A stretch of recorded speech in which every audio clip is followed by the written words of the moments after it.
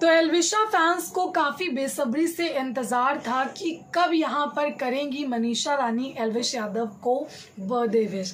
तो आज है बर्थडे, एलविश यादव का बर्थडे बॉय इस वक्त दुबई में है, लेकिन काफ़ी सारे फैंस ऐसे हैं जो कि यू नो देखना चाहते हैं एलविशा को एक साथ एक साथ प्रोजेक्ट में।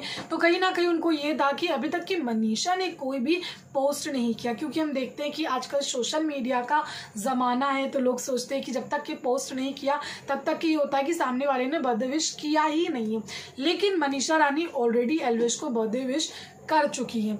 दरअसल हाल ही में उन्होंने इंटरव्यू दिया और उसी दौरान उन्होंने कहा कि मैंने एलविश को मैसेज किया था। मैंने उनको बर्थडे विश कर दिया। एक बार फिर से बर्थडे विश करती हूँ। Elvish Yadav many many happy returns of the day बहुत ज़्यादा खुश रहिए मंचले जी।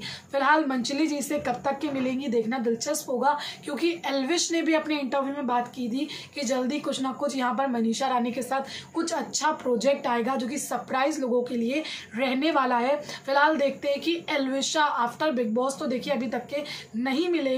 लेट्स सी देखते हैं कि कब ये लोग मिलते हैं। Once again Elvish Yadav many many happy returns of the day आपको बहुत सारी आपकी ज़िंदगी में खुशियाँ मिले और बहुत ही आपको तरक्की भी मिले। Thank you